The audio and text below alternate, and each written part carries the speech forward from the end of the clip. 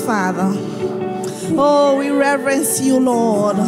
Lift up your voice. Let heaven hear your voice. You want to praise him? Let him hear your voice. Let him hear your voice. Express your, your worship to him tonight. Hey, lift up your voice. Let him hear your voice. Let him know. Lord, you are God. You are the Alpha and the Omega. Laku sataliane. He inhabits the praises of his people. You want to praise God tonight. The author and the finisher of our faith. Like Sataliana, my secretary, if you know what the Lord wants to do for you tonight, you will not be quiet. You will praise Him from the depths of your heart. You will praise the Lord tonight. Lakusa taliana, masetele makusa taliana. Hey, nema nema nema makasa taliana. Hey, Father, we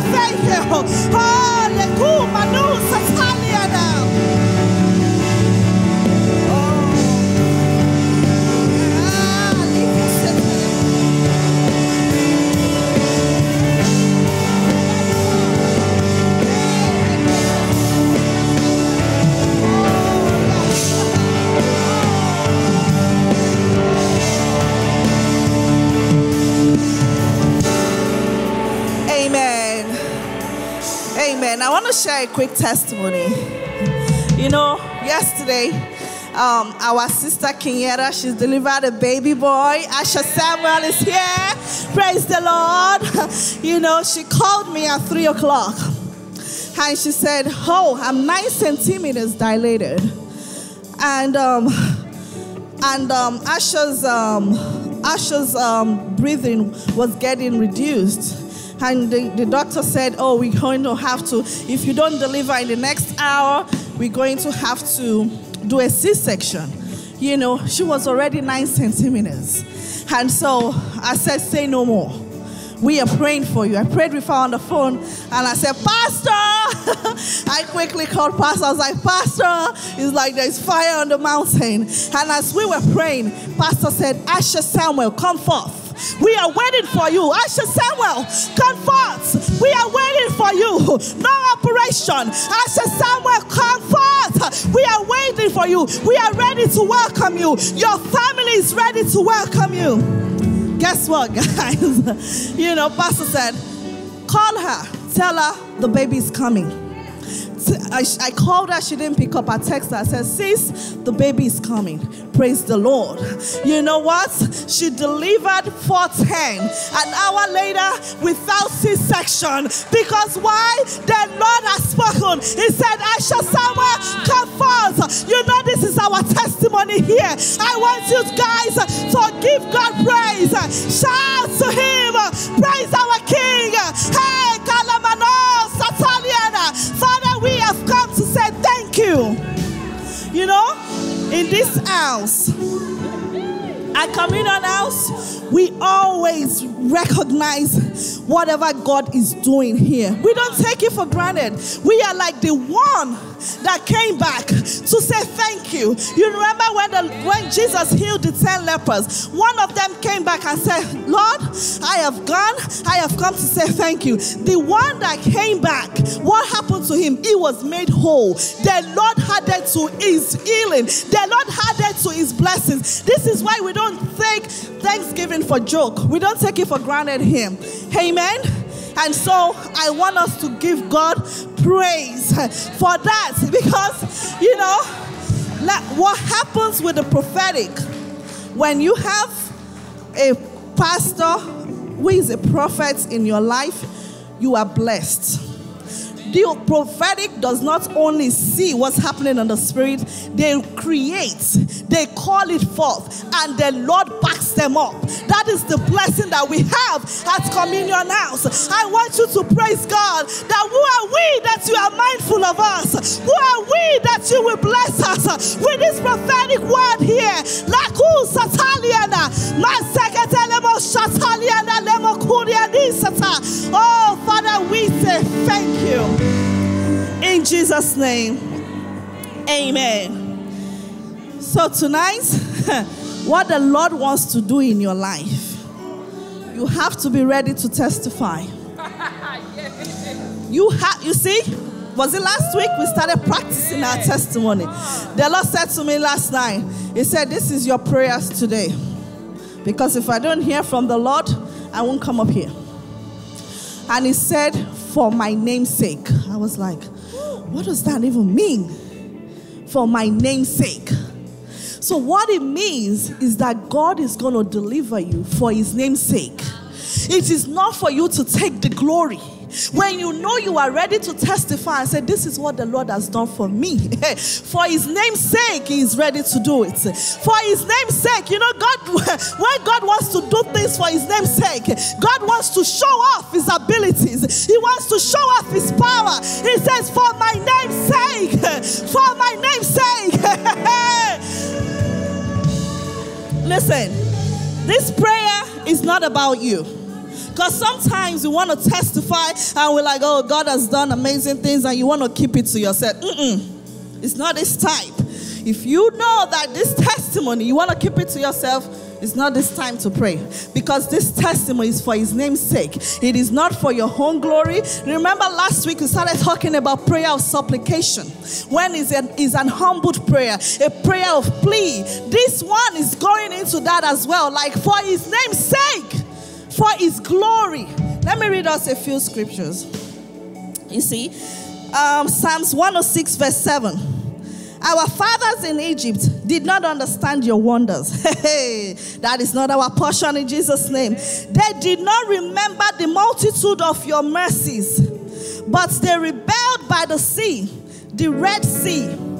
Nevertheless, he saved them for his name's sake. So your deliverance, your salvation is for his name's sake. He said, What? He saved them for his name's sake, that he might make his power known. Psalms 31, verse 3. It says, For you are my rock and my fortress. Therefore, for your name's sake, lead me and guide me. The Lord wants to lead and guide you to your place of plenty. You don't want to go?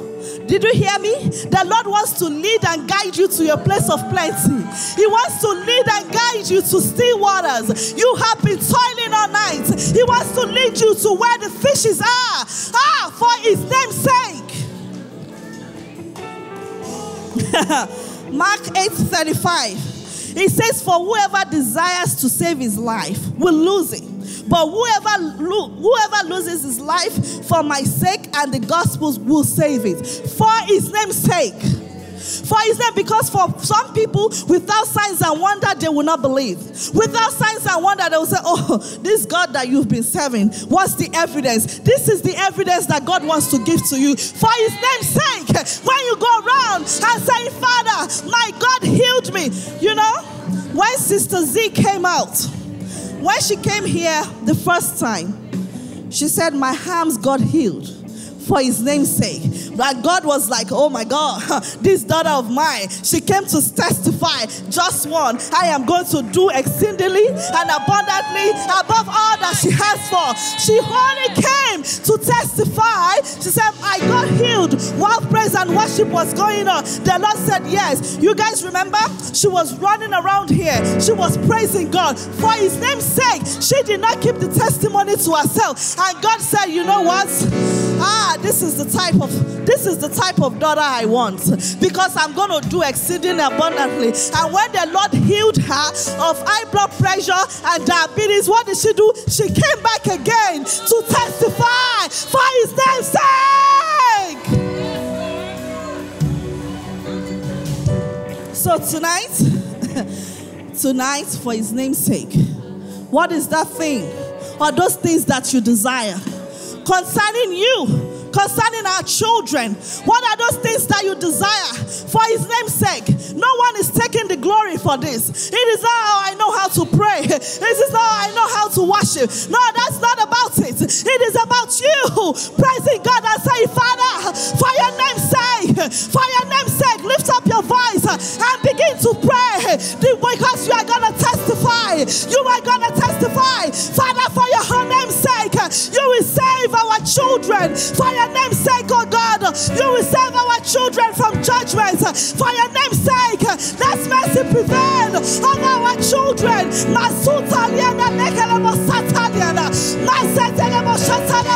Father, for your name's sake, for your name's sake, hey, Kalamano,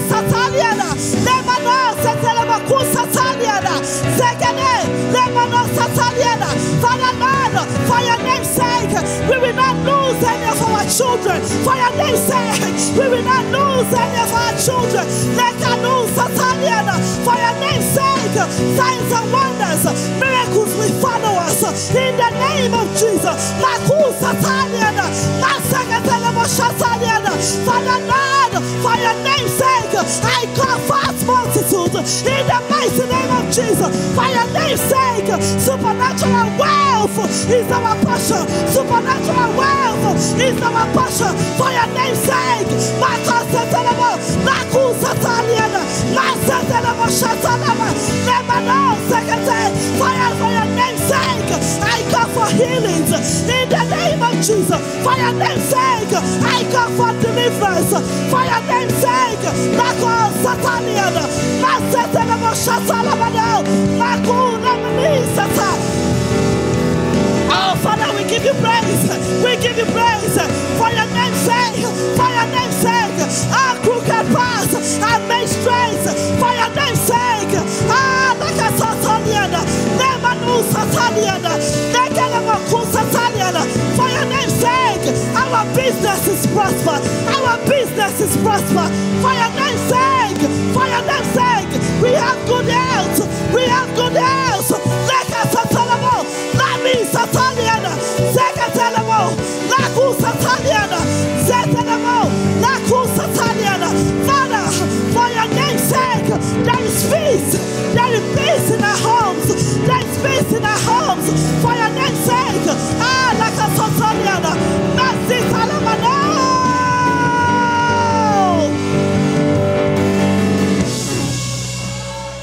Oh, Father, we give you praise. Lord, we exalt you. If you know you are one of those people that will testify, jump on your feet and begin to rehearse your testimony. If you know you are one of those that will testify, give the Lord praise. Give him praise. Give him praise. Hey, Kalamano Sataliana. Oh, Father, we thank you. Oh, thank you, Father. We give you praise. Thank you for your love. Thank you for your goodness. Thank you for your goodness. oh, Lamano Sataliana. Uh, thank you for your goodness. Hey, Lamika Sutali Shataliana. Uh, oh, for your name's sake. Oh, Father, for your name's sake. Oh, we will experience mercy. For your name's sake, goodness and mercy shall follow us for your name's sake. This week we will come back with testimonies. For your name's sake, favor will speak for us. Ah, like I saw Tolianda. Limanu Satalianda. Lord, you said we shall decree a thing and it shall come to pass. Oh God, for your name's sake. Ah, Laku Satalianda. Oh, thank you, Father. Thank you for our fighting our battles. Oh, we give you praise. Oh, the children at communion house, they are for signs and wonder. For your name's sake, we will not lose any of our children. For your name's sake, yes, Lord. Ah, Lika Sutaliana. Oh, Lemano Sataliana. Oh, Father, we give you praise. We exalt you. We glorify you.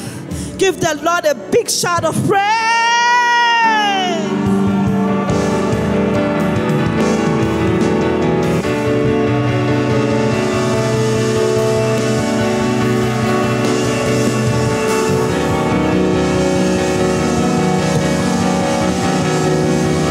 Hallelujah. Sotiaramayesh. Ya ya ya rabash. Hallelujah. Prophet, if I could just have a couple of minutes, just a couple. Thank you, sir. You see, because I heard the instruction of the woman of God about the testimony, and when I heard about my dear sister Kenyetta, I was I was fired up several days, my wife and I were in the hospital waiting for my son to come. And we dealt with so much opposition that about a week we were there. When her water broke, she said, Baby, I'm ready to go. We said, Okay, that was a Friday. We went in. And when we got there, they said, Oh, you, you're not quite ready. We said, No, we want to be here. They said, Okay. And the one that was assigned to us, the provider, she said, Hey, you know, have you considered C section? No, we have not. And that was that. You see, because the Lord is dealing with us and pressing through. And so several days went by where we went through such opposition from the provider staff concerning the word of God that we were standing on that my son shall be birthed through the birth canal as the Lord has created, as the Lord has ordained. Family, I'm trying to tell you, it got to the point where the woman came in, they tried to submit to us paperwork to say you have refused medical advice. I don't care. We kept pressing on. All the while, the man and woman of God we were on the phone with, I say, look, prophet, we stand on the word. This is what we got to do. This is what we want to do. And as the woman of God was encouraging us, when you have that covering in your life, to be able to go before, to seek that counsel, because the scriptures say that there's wisdom in the multitude of counsel. As we were receiving the instructions and standing on it, it got to a place to where we were speaking spirit to spirit. As the provider would come in and say, Well, what if the child dies? I said, The word of God concerning that child is that he shall live and not die. I said, Woman, this is your last time spewing this contrary word, or we will report you accordingly and you send us another provider. Family, three, four days we went through this.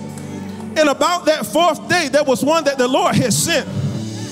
And when that provider had come, he was so gentle. There was something about him that was just, he, he felt like that granddaddy that you love. And he came in, and about the time that the child was speaking through, we say, This is the moment, okay? The child is coming.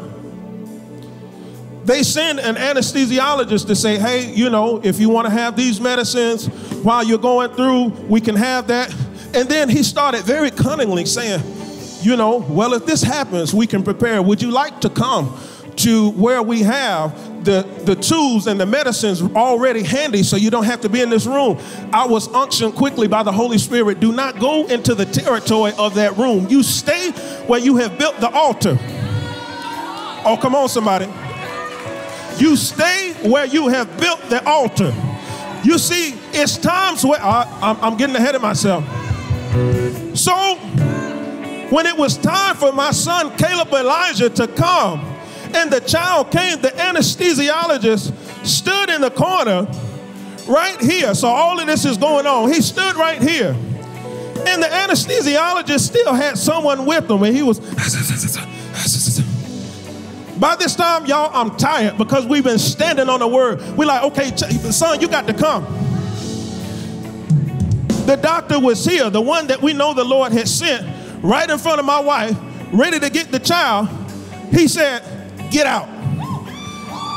And he sent the anesthesiologist out. How many times did the, the Lord come and he had to send people out of the way because something, mag- oh, come on, somebody. Come on, somebody. He sent them out. And within a few minutes, the child had come. I'm here to tell you life and death are in the tongue. Do not despise. See, I want y'all to hear this. Do not despise humble beginnings because that power that the Lord is growing you in, He got to teach you how to wield it. He got to teach you how to wield that life and death. He got to teach you how to wield the power. So when you come under the weight, when you come under the pressure, Lord, I'm standing on your word. Lord, I'm standing on it. Because when you come about, you've been built up with the power to call in Shadabasiete. You've been built up with the power to declare life to a situation. Shikarabashi. We giving God praise because we have been instructed to give our testimony. How did they overcome Satan? By their testimony in the blood of the Lamb, not loving their lives unto death. Yes, Why don't you give God praise with me? Hallelujah. Because you got to know when you get ready to birth that thing, you got to push. When you get ready to birth that thing, you got to push. And you got to stand on the word of God, for it's very active. It's living. It's powerful. It's piercing to the marrow, dividing soul. You got to know that the word of God is for you. The man of God said, forget not his benefits. See, my wife and I had been holding this thing in because we were so tired. We were so wore out from standing. But we give God praise because this is our season. We arise, shine, for our light has come, and the glory of the Lord is risen upon us. While we're in this presence of God, why don't you go love on somebody? Greet someone with the holy kiss. Hallelujah.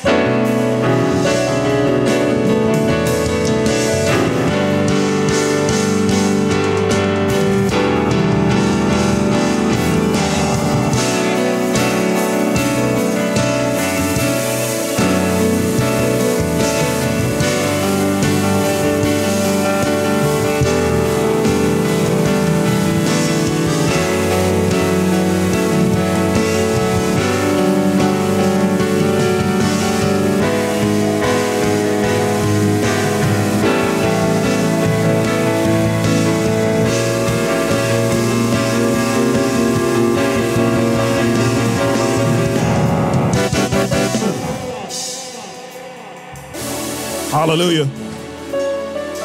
Let's make our way back to our seats if we can. Hallelujah. Hallelujah. Father, we give you praise. It's such an honor and a privilege to be in the midst of fellow believers standing on the Word of God. And as we prepare to receive the one that the Lord has set before us, let us continue standing. If you sit down, that's okay. Go ahead and stand up again and let's give the honor that's due. Father, we give you praise. Let's take just about 30 seconds to pray in the Holy Ghost concerning this one.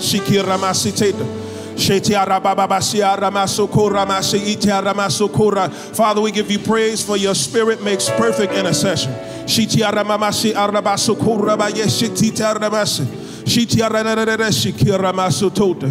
Hallelujah. Father, we thank you for this prophet, this mighty man of God that you set before us. Lord, now grant unto us the ear to hear what the Spirit of the Lord is saying to the churches. All glory and honor belong to you, O God. Let us welcome and celebrate the set man of this house, the pastor, the prophet, Moses Anderson. Praise the Lord. Hallelujah.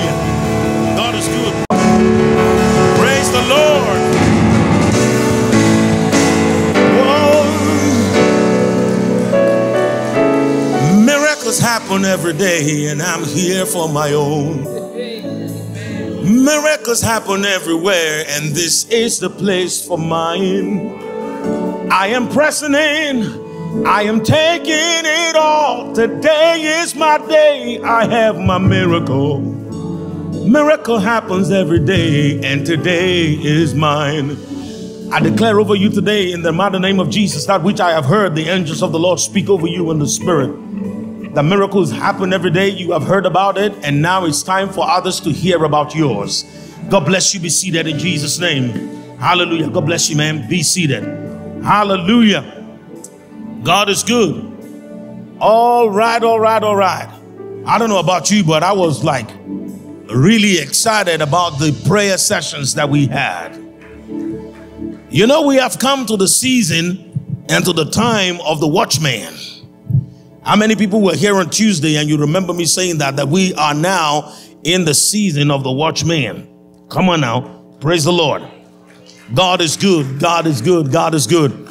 Uh, we're going to have more of that by the grace of God. I'm certain of it. I want to, first of all, um, actually, I want to welcome my brother Don. Good to see you. Yeah, it's been a minute. All the way from Arkansas. Good to see you here. And um, let's every, let, let everyone ball hat. Yeah, she's she's been gone for a minute. Welcome back, Marianne. Good to see you. Oh yeah. Oh yeah. So at least the next time she's thinking about disappearing, she'll remember the uh, the repercussion of that. So I'm gonna just quickly talk about a couple of things. I don't want to keep us tonight. It wouldn't be my desire to, um, because already there is so much impartation that has happened already. You know, because when I was there and my wife was praying and and sharing the testimony about the delivery of the baby, I think actually when she called me, it was about 11, I mean not 11, 3.15 in the afternoon. And going into 3.20, I was at the bus stop waiting uh, to pick up William. And so when I saw that the baby came at 4.10, that was less than an hour. And we were given an hour.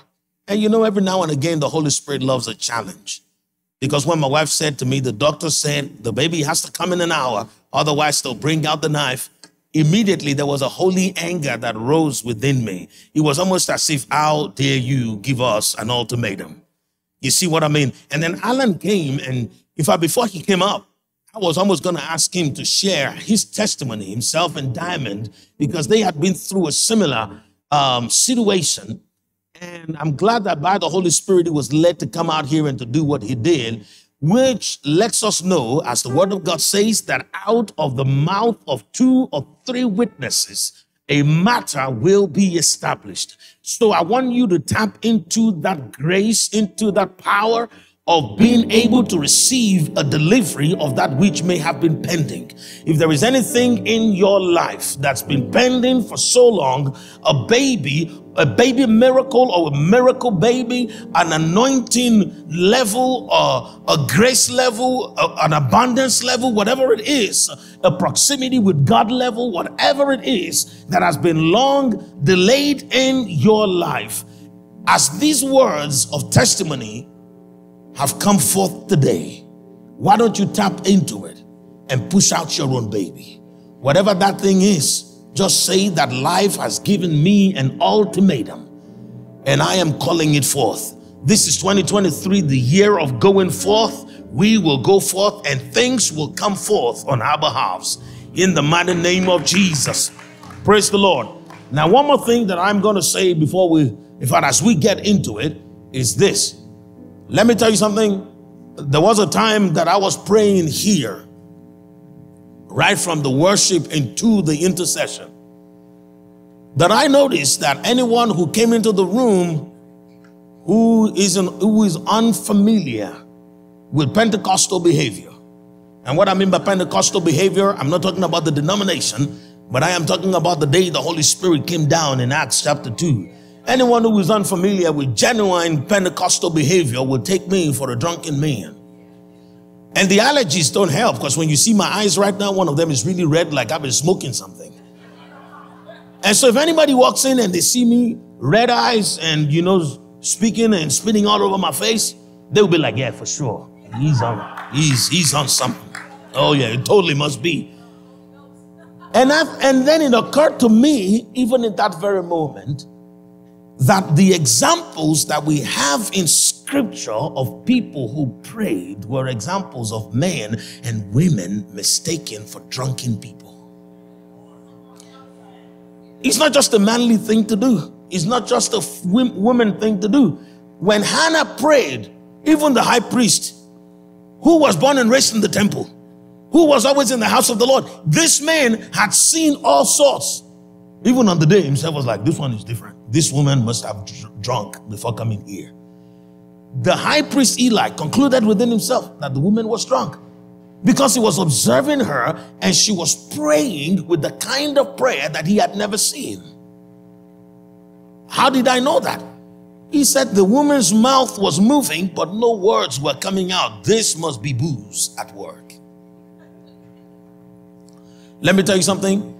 Do you know that it is one of the prescriptions that we have in scripture to pray with all manners of prayers? You see, your prayer doesn't have to be American. Your prayer does not have to be European. Your prayer doesn't have to be African. Your prayer has to be diverse. It has to be all manners of prayers. You can't afford to be gentlemanly about prayer. You are a gentleman when you have won victories and you're sitting in your castle upon your spoil. But when you're at war, you cannot afford to be a gentleman. Imagine going to battle and keeping one arm behind your back and taking strides while swords are being swung at you because you say that you are a gentleman. No, you are only a gentleman when you have gone to battle and have had victory and confident that no enemy will rise for another 10 years because you have dealt with them to their very foundation. And so I want to encourage you that when you look at scriptures, the apostles, the, the converts who were awaiting, the apostles plus the converts who were awaiting the coming of the Holy Spirit in the book of Acts, chapter 2, the Bible says, when the day of Pentecost was fully come, and they were in one place and in one accord, there came from heaven a sound as of a rushing mighty wind, and it filled the room where they were. And there appeared upon each and every one of them divided tongues as of fire, and they began to speak in unknown tongues. They started to speak in other tongues, and the men who were around the area mistook them for drunken men because they were not composed, they were not organized, they were not rhythmic, they were gyrating under the influence of the Holy Spirit. When Paul and Silas prayed, there was a place where they went to, and people were like, Yeah, these ones are drunk. When Jesus prayed, his prayer was such that he was sweating and his sweat was as thick as blood. Whenever you're praying and you don't think you will break a sweat after five minutes, tell yourself you are not started just yet. And I have a disclaimer, you know, because it's very difficult, or maybe not very, it could be a little challenging for my wife and I to tell people to pray in all earnestness and with all zest. Because it's easy for you to say, well, that's how Africans pray. But don't you think I pray like that because I am African? Because I know some Africans who pray whose voices you can't hear either. You understand what I mean? Think about it this way.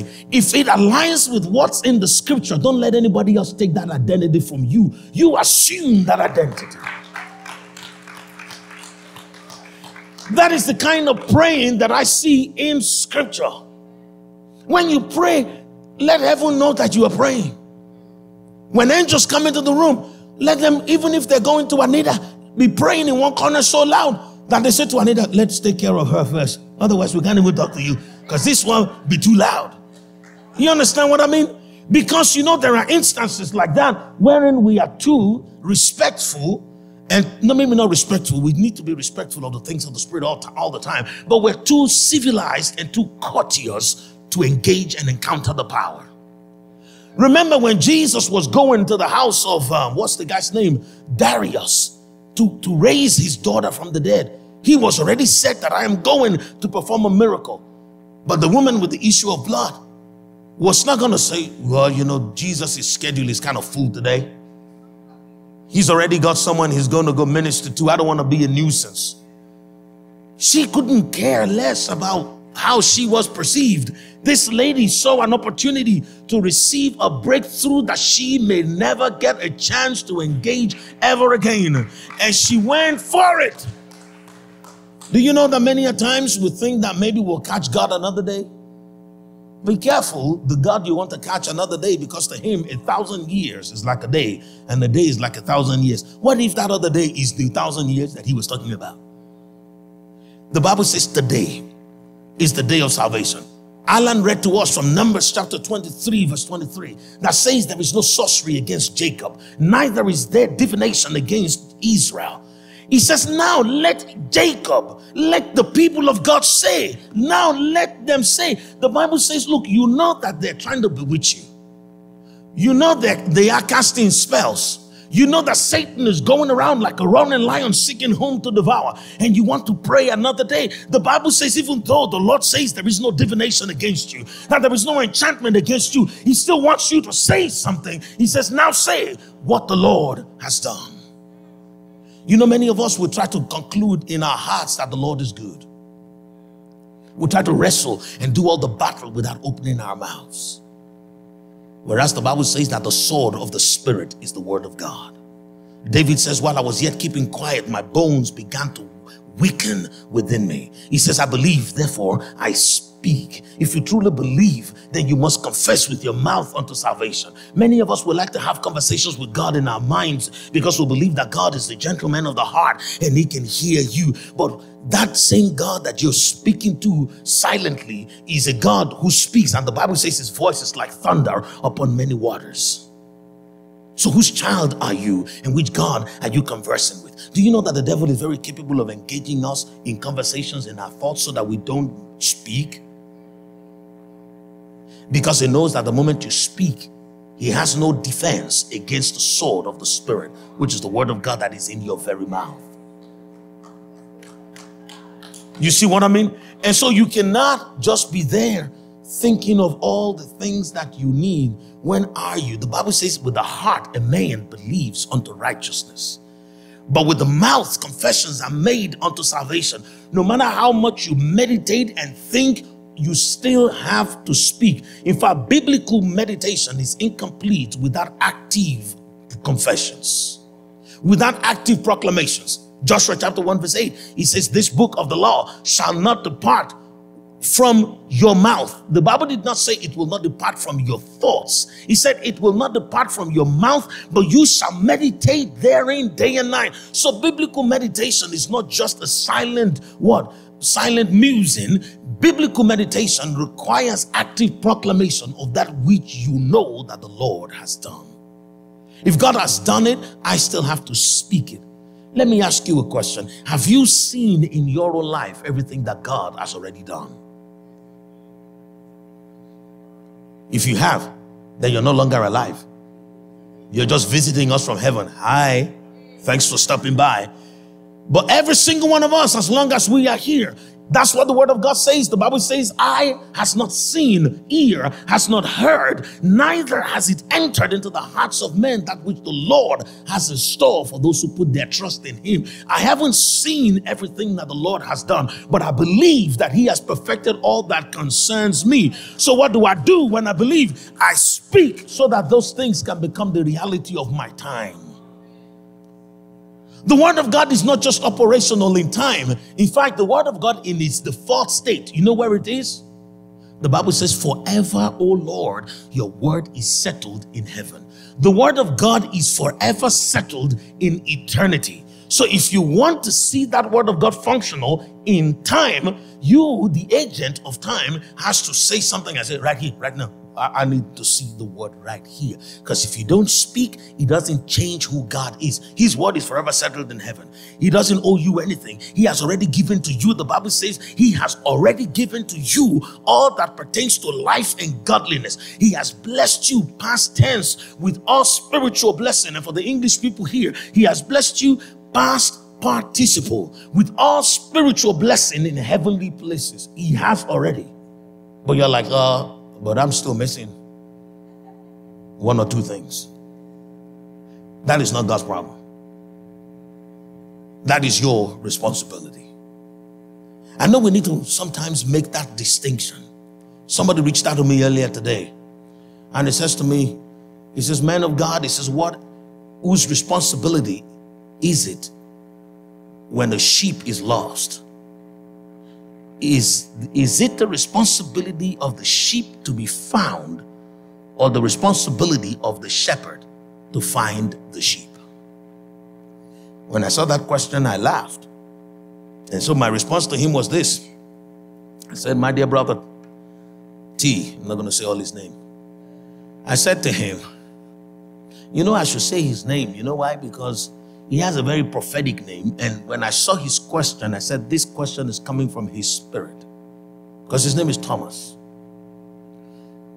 Yeah, Diamond already knows where I'm going with this. Because, like I've told you many times before, in every one of us, there is a Thomas.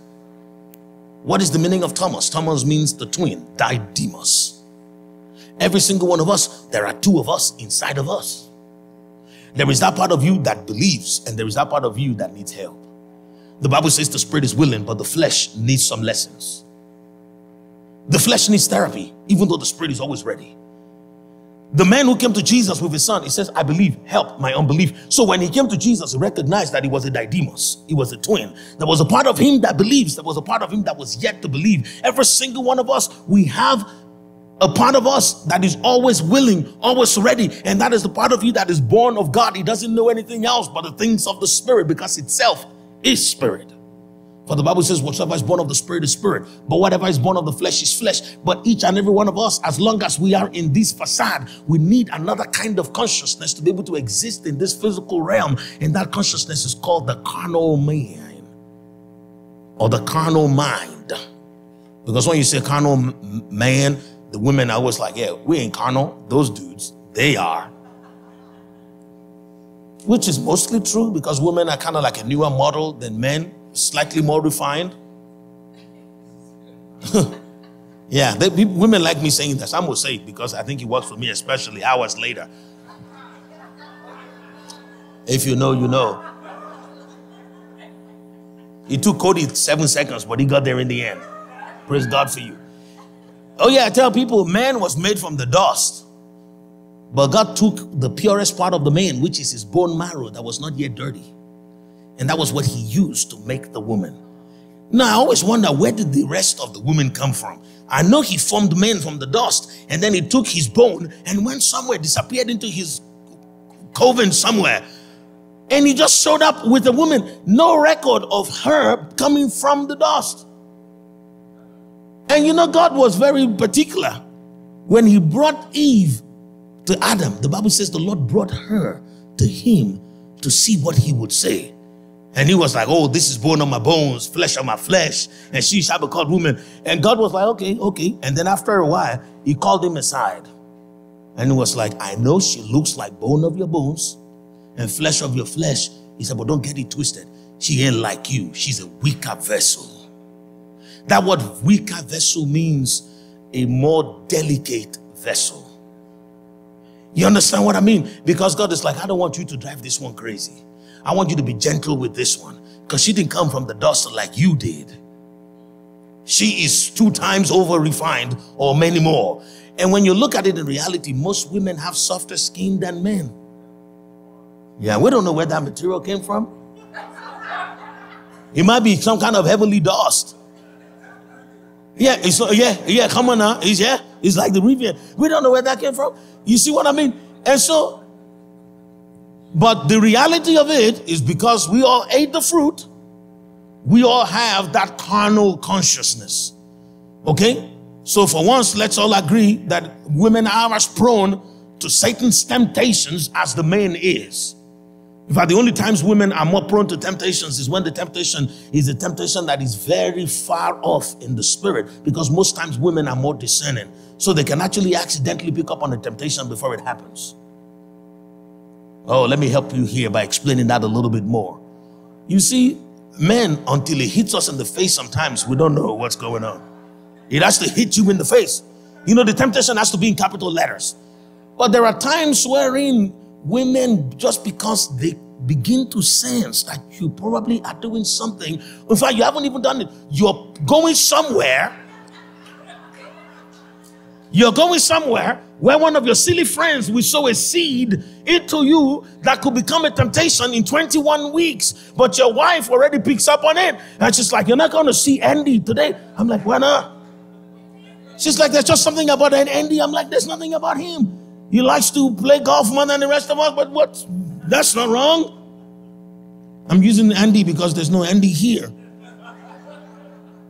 You're welcome, guys. But the woman picks it up, picks it ahead of time. And so, guess what happened? The devil knows that she has the gifting of discernment. And so, he can also include the temptation for anger and unforgiveness even before the offense is committed.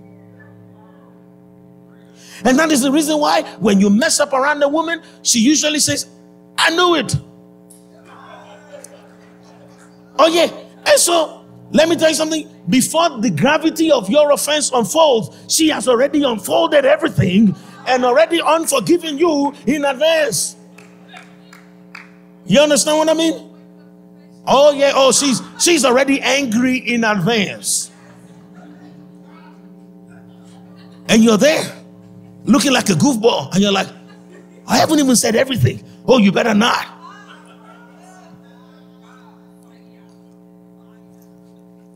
And when I say you better not, what I mean is wait for her reaction first of all, because she will still question you on everything. So just save the answers for the questions. Otherwise, you will you will keep tying yourself in and in and in. Let me tell you something. I have bought things that I shouldn't buy, and my wife said I knew it, and I haven't even told her the part of it that was not yet delivered. And I used to be like, oh, maybe when you see the other part of it that they haven't delivered, you may be happy with me. And she's like, oh, there is more. And I'm like, yeah. But now I wait until she asks me, so is this everything or is there more? I'd be like, oh, maybe I should check my Amazon. Yeah, because I know it's one blow is easier than the other. But where I'm going with this is these folks, we need to recognize that there are two people in each and every one of us. There is that part of us that is born of the spirit, that is spirit, that part of us that is born of the flesh, which is flesh. Do you know that Apostle Paul, after having traveled half of the known world, witnessing and ministering the gospel with miracle signs and wonders following, he still had to deal with his Thomas situation, with his didymosity, with his twin, with his dichotomy. He still had to deal with it. If you've read Romans chapter 7, you will appreciate what it means for a man to wrestle within himself and wondering why the Lord will not be the referee to separate his soul from his spirit.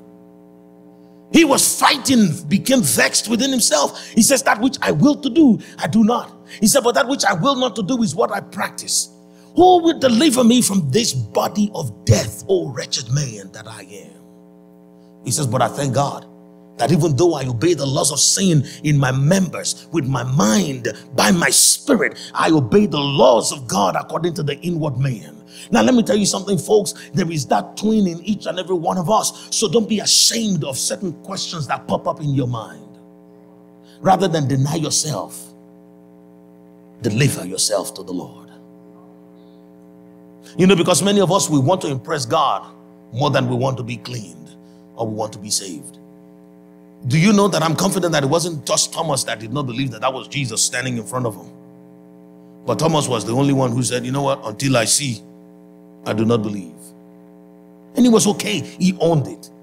Now, ask yourself of all those people, how many other people actually got the privilege of putting their finger through the hole in Jesus' hand? The other people were satisfied with their self righteousness and all their conclusions. But Thomas was like, I ain't doing that with y'all. I'm not assuming, I am asking. So there are times when you just have to lay it bare before the Lord and say, Lord, I believe, but somewhere within me, I'm still going to go and borrow that money. We do that all the time. We, oh, yes, we do that all the time. We're like, Lord, I believe you're my provider, but because I know sometimes you take your sweet time because you're God, I'm going to go help myself. Lord, I have prayed for this headache, but because I know the last time I prayed for the headache, it took four hours. And I ain't got four hours because I need to watch the show. So what do I do? I go to take the Tylenol. You understand what I mean? That is what we do. We know what we believe, but we try to deny what we don't. When we were growing up, people used to say when they when they're running a temperature and they have a fever, right? And you're saying to them, brother, are you okay? I'm fine. I'm good. Because faith is to say that you're good even when you're not. I'm like, uh, no, not quite. Faith does not deny the facts, it embraces the truth to change the facts. So when people are not feeling well, and the defense, the defense that we had was that the Bible says, Let the weak say that I am strong. That is the defense. We're like, I'm weak, but the Bible says, Let the weak say that I am strong. Yes, the weak will say that I am strong, but he will not say that I am not weak. Because even the Bible says, let the weak. So when they're saying, where are the weak? You first of all show up amongst the weak. We are the ones who are weak. We need help. But now that we have identified as weak, which is the fact, we will now confess the truth, which is the word of God that says that I am strong. You didn't find nothing. So, nothing was lost. That was Siri. So, this is what we do with the Thomas that is on the inside of us if there is any area wherein you are struggling, let the Lord know about it. reveal that doubting Thomas to him and let him. Many of the scriptures we quote today are God's answers to questions people asked when they were struggling. Let me say that again. Many of the scriptures that we have today that shed light into the divine nature of God and God's expectation for this partnership that He has with us are answers, or they were answers to questions that some people asked. On Tuesday, we broke down what it means to be born again. What if Nico had not asked Jesus, What must I do to be saved? Because the other guys just assumed that they were already saved because they were following Jesus. They didn't ask if there was any further requirement. Peter didn't say to Jesus, uh-huh, Jesus, are you sure that it's okay for us just to follow you? Are we going to make it? It was just like, we're following Jesus, we're good. But Nicodemus was like, there must be, there might be more. I don't want to assume. So he came to Jesus by night when all the naysayers and all the hypocrites and all the religious sanctimonious people were gone. He said, What must I do to be saved? And Jesus says, Unless, verily, verily, I say unto you, John chapter 3, verse 3, unless a man be born again, he cannot see the kingdom of God. So if you are benefiting from questions people ask the Lord Jesus, why are you afraid to ask yours? God knows exactly where you are, how much you believe, and how much you don't. So why don't you do yourself a favor and let God know exactly where you are at? Let me say this you're not you're not hiding from God your weaknesses, not necessarily because you want to impress God. We hide our weaknesses from God because it is what we inherited from Adam. When Adam and Eve sinned, nobody told them to go into hiding. The serpent already did the damage. He was already getting ready to receive the title deed in his name. He all he wanted, he thought he had achieved. Nobody, he didn't say to them, uh, now that you've eaten the fruit, you better hide. The big boss is, big boss is coming. No, something within Adam just told him that he needed to hide from the Lord. So it is inherent within us in the Adamic nature that we should hide certain things from God because we really aren't proud of certain things. But in reality, when you think about it, this same God, He knows you more than you know yourself. Cain did not even know that there was more temptation waiting for him. He was still struggling with what he had done. And God came to him and said to him, He says, There's more temptation outside. He says, Sin is waiting for you at the door. And the man was inside. There was no way he could have known. So God already knows what you are even about to struggle with that you haven't struggled with. So I'm encouraging you when you have these situations within you, ask the teacher and let him explain to you what you must do to be saved.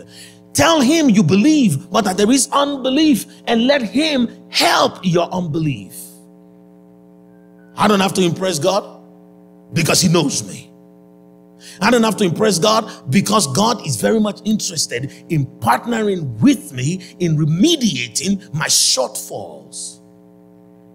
The Bible says the Lord desires to show mercy.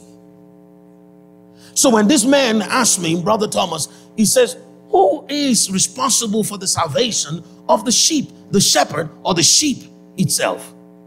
So I, I smiled and I said to him, I said, Well, first of all, the very simple answer is that the shepherd is primarily responsible for the sheep.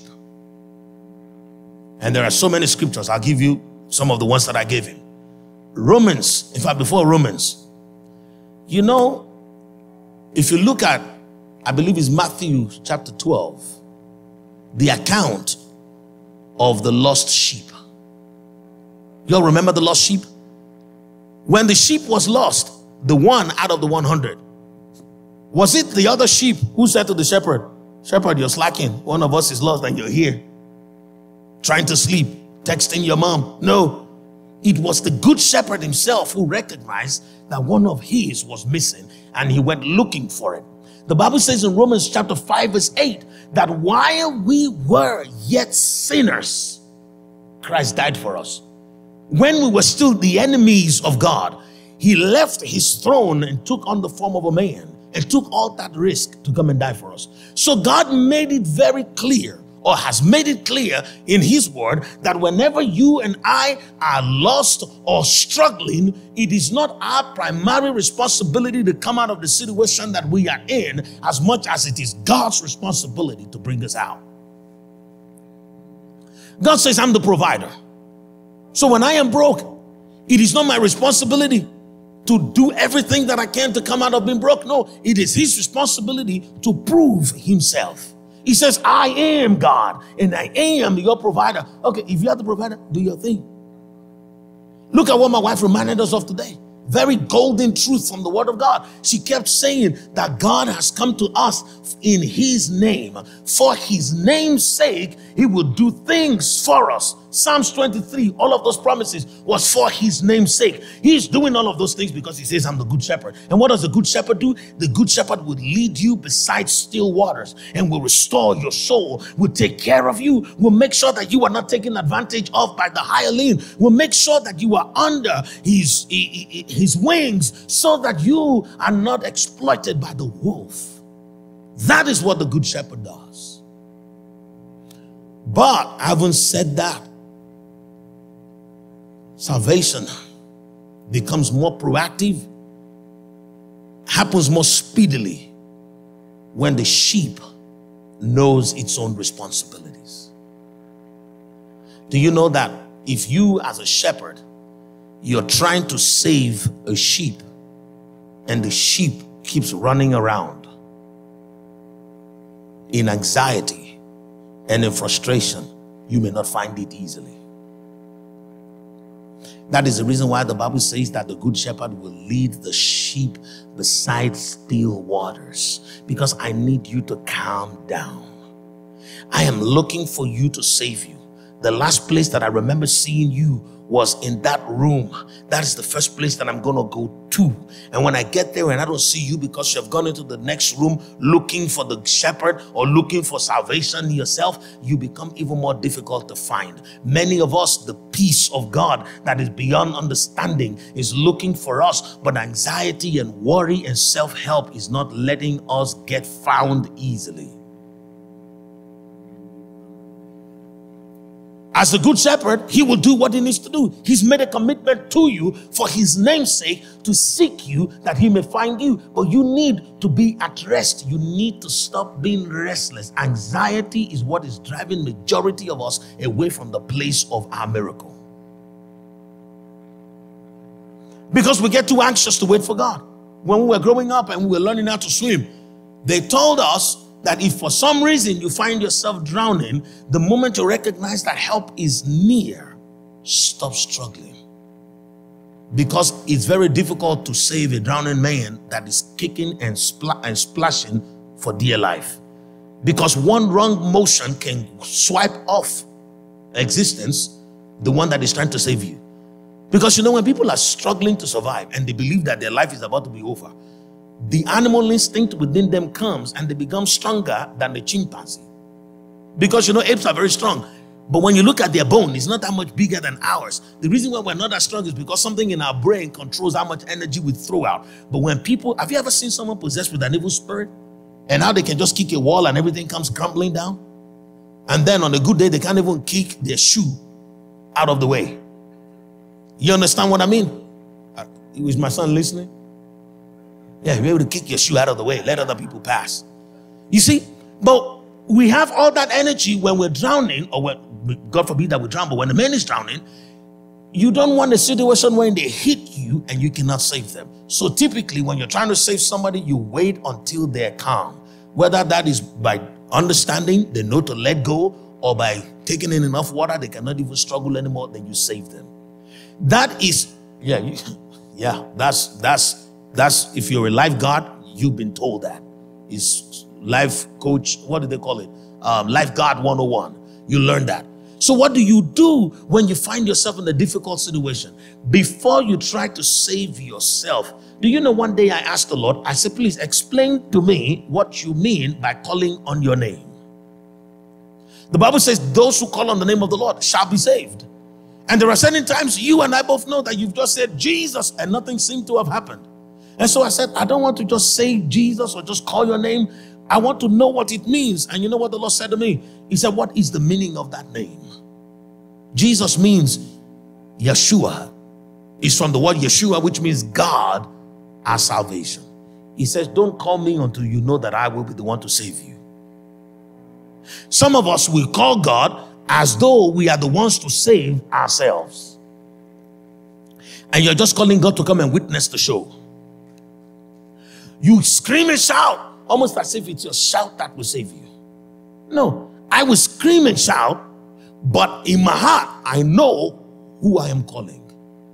So we need to get to that place always and at all times wherein we know for sure that the Lord is the Savior and we are waiting for His mercy.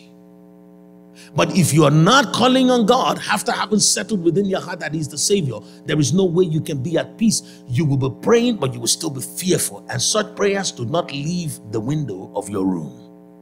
The Bible says, without faith, it is impossible to please, please God. The prayer of the wicked is an abomination to the Lord. God only responds to the prayer of faith. So, what do you do to demonstrate that you have faith? Be at peace. Not to impress God, but to actually demonstrate to all the forces that govern life that I am not here to save myself. I am here because I am confident in Him. The second thing that a sheep has to do to be saved is this I asked the Holy Spirit after the man asked me that question and I sent him my response. I said, What is this about? He said, I sent him ahead of the others. He says, There are others today that you need to share these same things with who are wondering why salvation hasn't come, who don't know or who haven't come to reason within themselves in understanding where the line is. Where do I draw the line between my responsibility and God's responsibility? I don't want to be a lazy child of God who is expecting God to spoon feed me and do everything for me. But then at the same time, I don't want to be wrestling with God for control over my life. So where do I draw the line? Draw the line by the two things that I've said primarily. Note that God's responsibility is God is ultimately responsible for saving you, but position yourself for a saving. The Bible says in John chapter 10, verse 4, Jesus says, I'm the good shepherd, and my sheep know my voice. Do you know that if you do not know the voice of the Good Shepherd, let me say this very slowly because I don't want us to miss it. If you do not know the voice of the Good Shepherd, and you are a sheep that is lost in the wild, do you know that you could easily just jump out to the very first sound that you hear, which could be a bear or a wolf? Because there are animals in the wild who learn hunting by watching shepherds. So they would move around the sheep as though they are coming for a rescue, but they're just tempting the sheep to come out and show itself. And boom, there they are. They attack. That is the way Satan hunts. The Bible says, Behold, your adversary is going around like a roaring lion, seeking whom he might devour.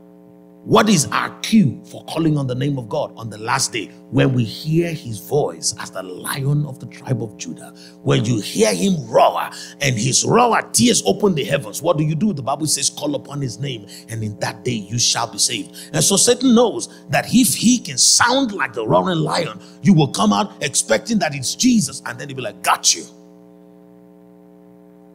And so you need to know the voice of the good shepherd. You need to know exactly what God is saying so that you do not fall into the hands of Satan.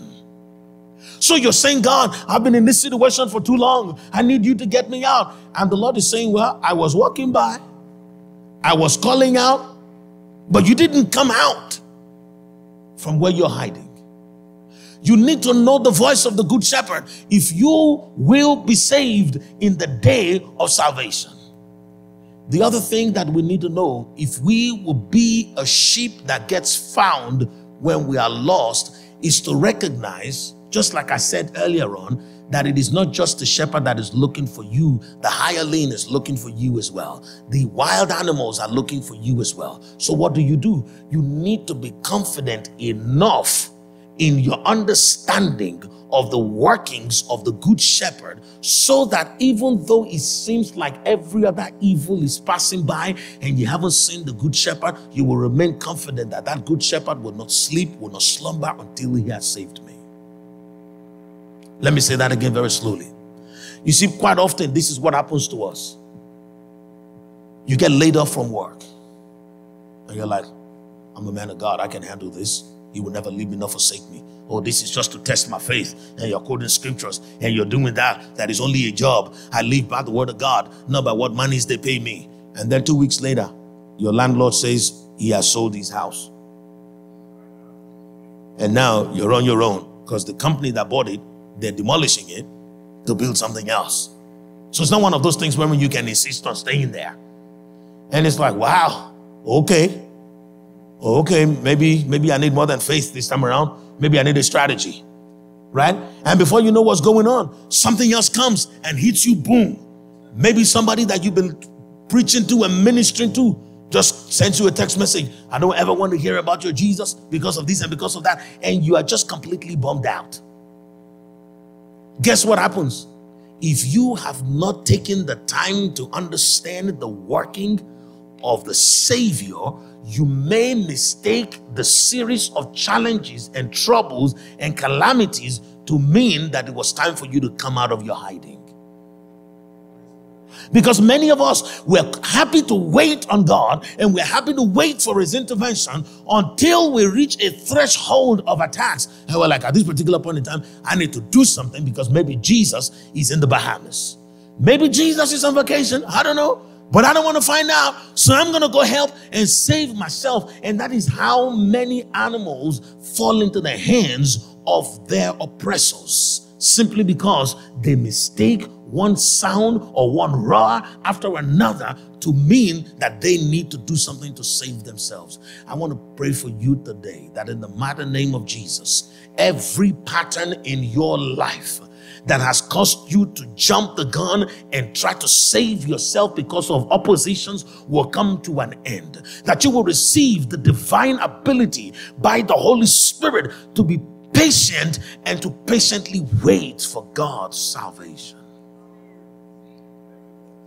Because when we examine our lives critically and honestly enough, we will realize that there have been many times, or one time too many, that we have decided to apply for a job or to accept an offer, not because the Lord has spoken, but because your problems have spoken.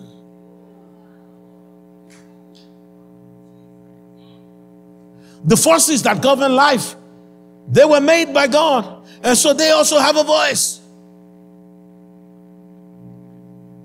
But if the good shepherd is going to come and rescue you for his name's sake, he would have to do it to a sheep that knows his voice, a sheep that knows him and understands that that good shepherd will not sleep nor slumber. Jesus said that that shepherd did not sleep, did not slumber until he found the one and brought him home in the early hours of the morning.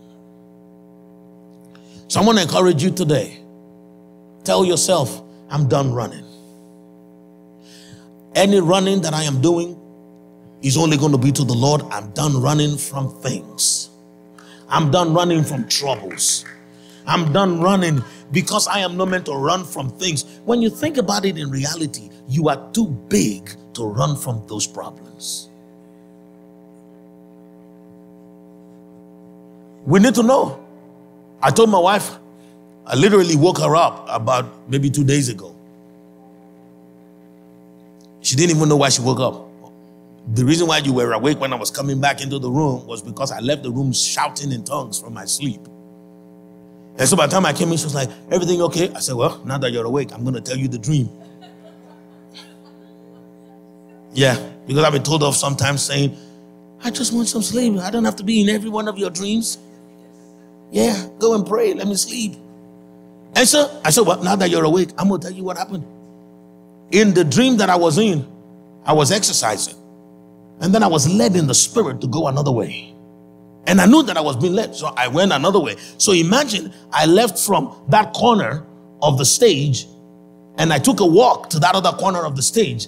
Naturally, I was supposed to just reverse my path and go back to where I came from. But I was led to come to this junction and then to go that way. By the time I got to that junction, I met two ladies and they came to me as though they were celebrating me and respectful of me. And they were like, oh, uh, in fact, there's something we know you're looking for, and we've got it.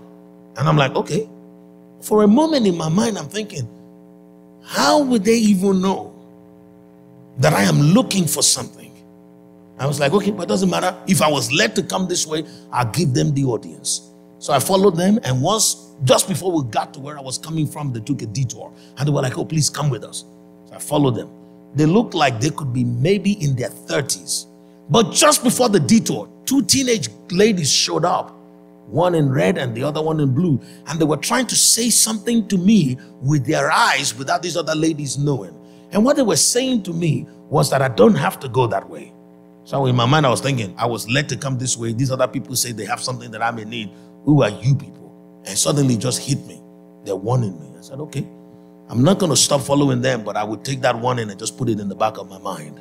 So I went this detour. And when I took the detour, I saw a table, a wretched, rickety looking table.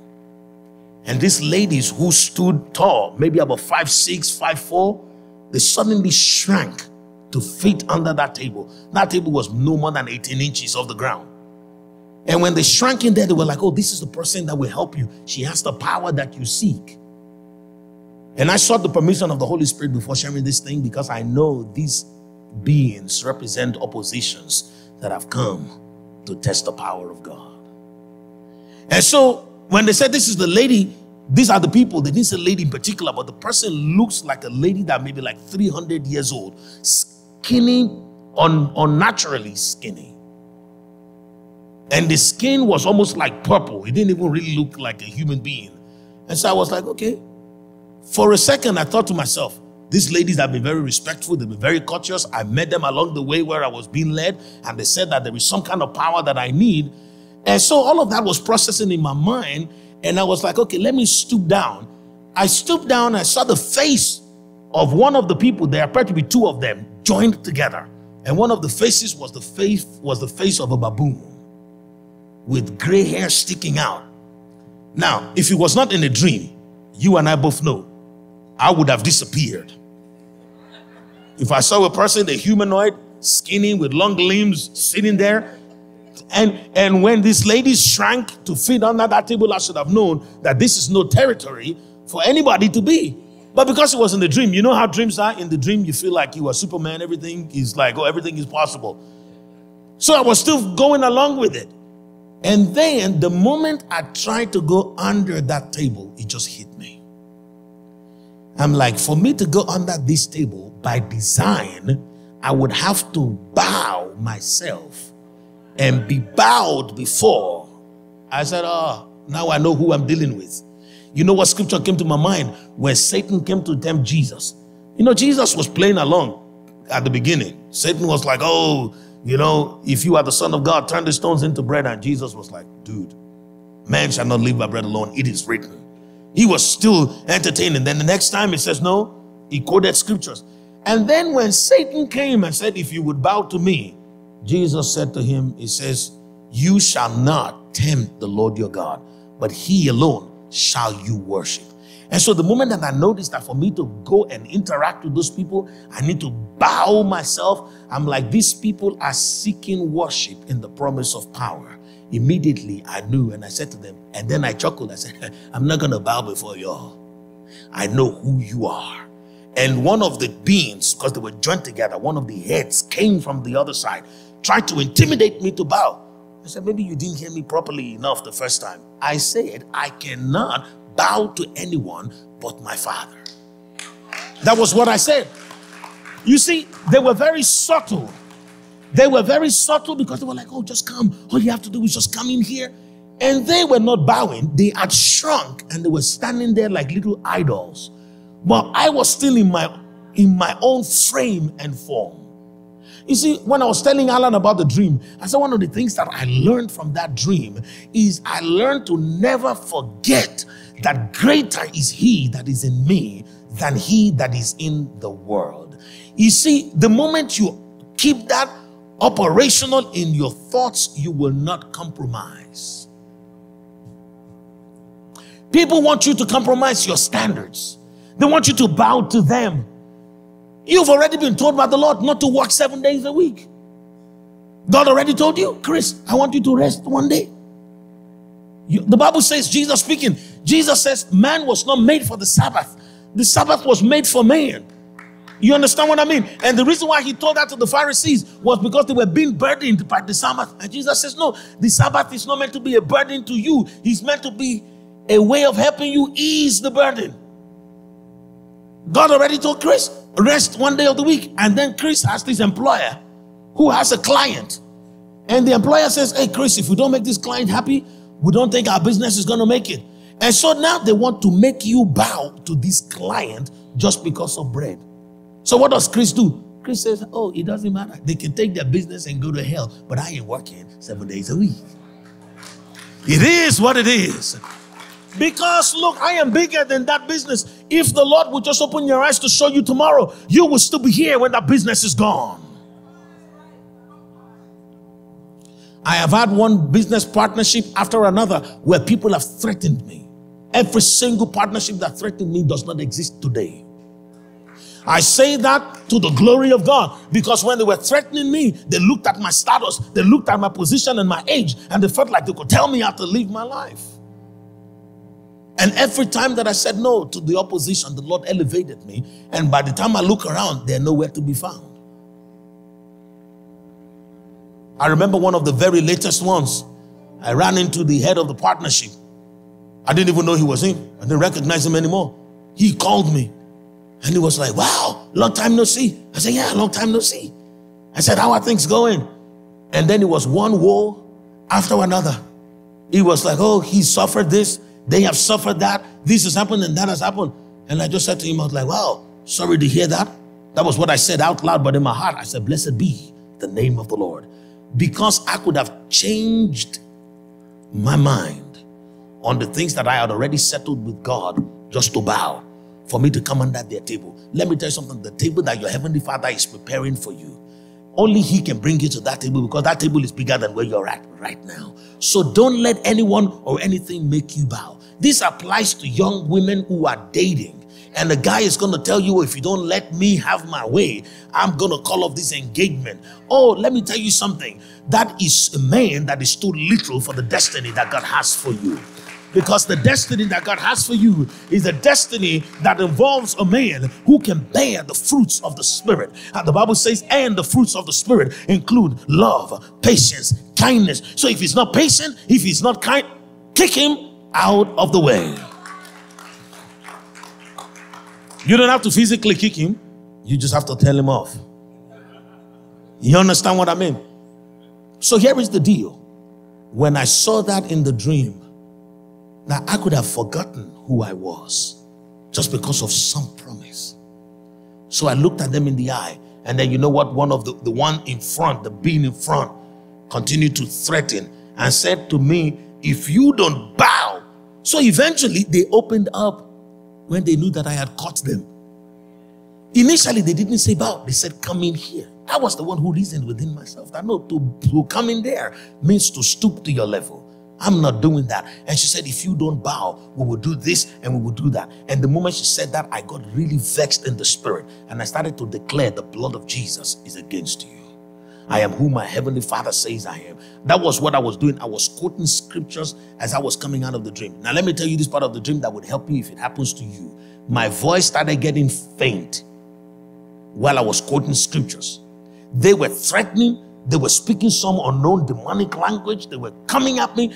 I was speaking in tongues. I was quoting scriptures. And then my voice went faint. And the moment my voice went faint, for half a second, I was afraid. I was like, oh my God, this is a battle of words. And if I can't speak, how am I going to get out of here? You know what I mean? For a moment. And after a while, I was like, even if I say no more thing, the one that I have already said is more than whatever they can bring to this battle because I have spoken the word of God. And I woke up speaking in tongues and quoting scriptures. What I realized was the reason why my voice was getting faint in that realm was because my voice was already loud in the room where I was sleeping. Praise the Lord. And so I say all of that today to say this. Those two things that happened to me in the last couple of days, including Thomas's question and the dream that I had. The Holy Spirit, when I engaged him concerning those things, he said to share with you because they are not just one off experiences. They're not experiences for me alone. He says, I am showing you some of the new strategies of the enemy. against the church, against the body, against you and your brothers and sisters.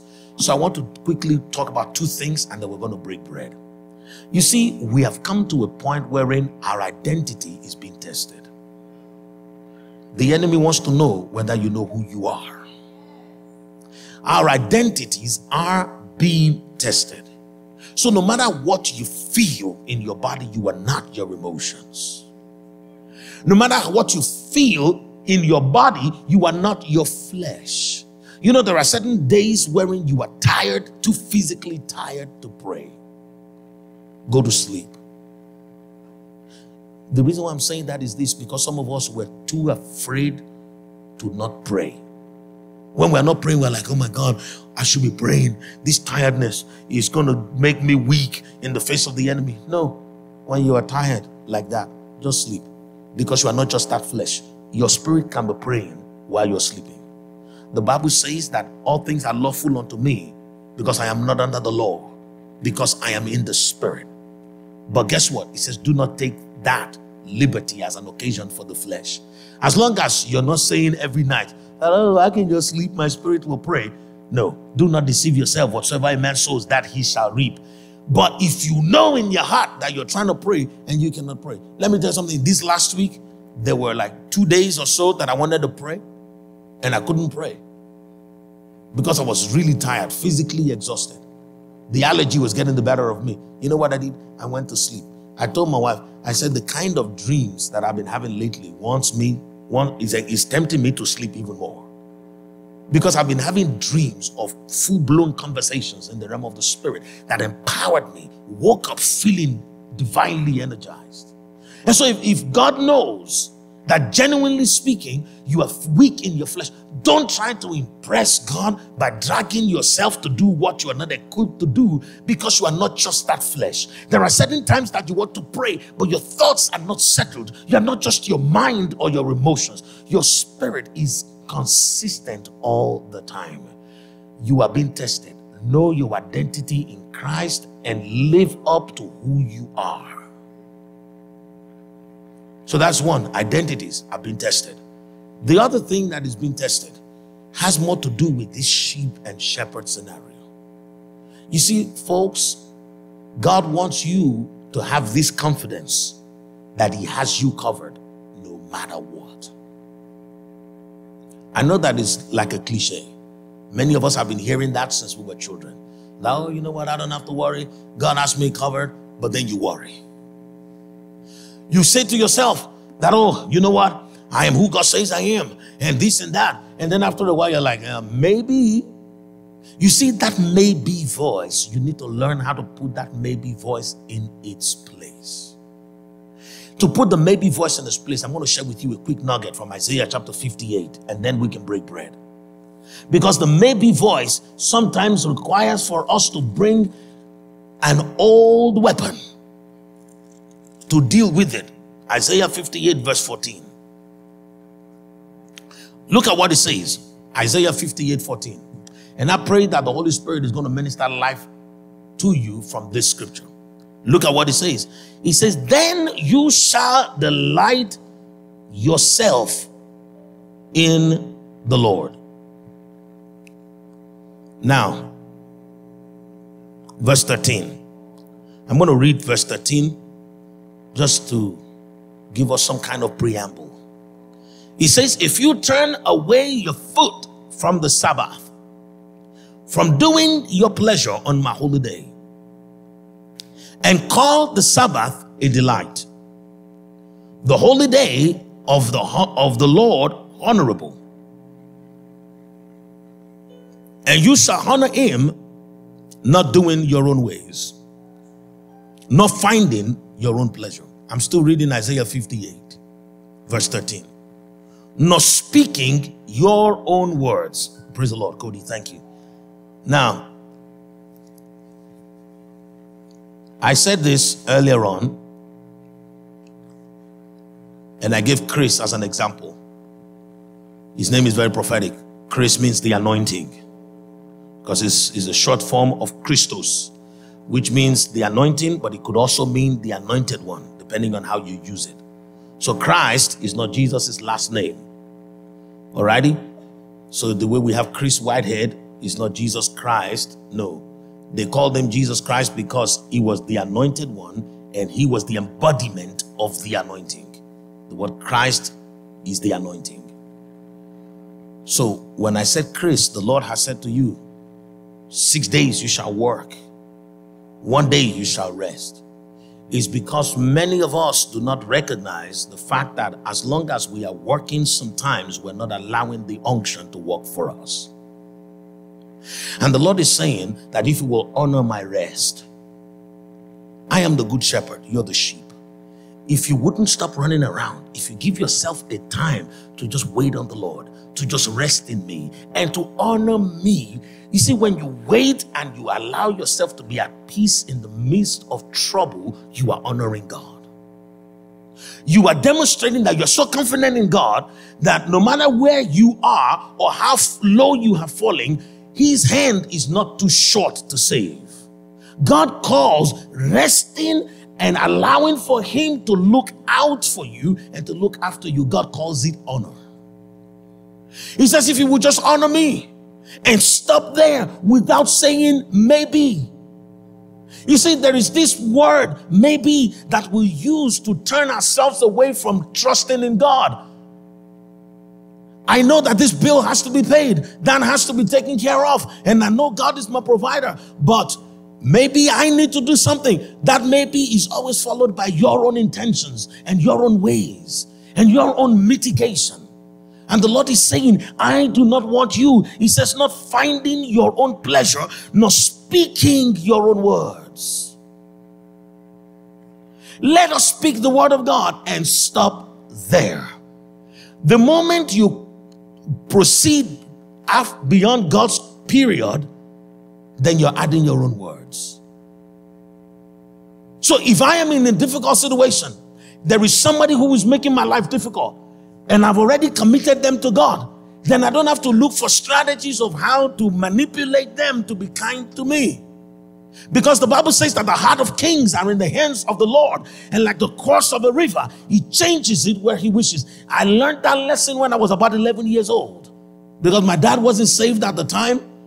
And he wouldn't let us go to church all the time because it didn't make any sense to him. He kept saying that you, they're using you for cheap labor because you all go there, you sweep the floor, you cut the grass. How much do you get paid? How much do you get paid? Zero money. Stay home.